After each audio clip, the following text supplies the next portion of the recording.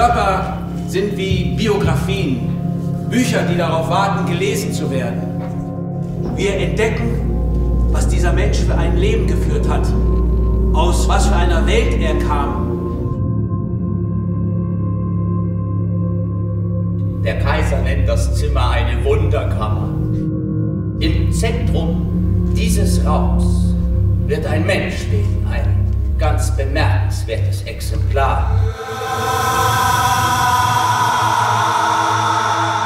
Lassen Sie mich meinen Vater begraben oder ich begrabe Sie.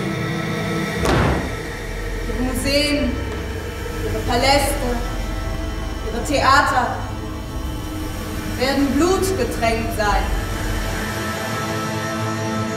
Ich lasse nicht zu, dass der Körper meines Vaters benutzt wird.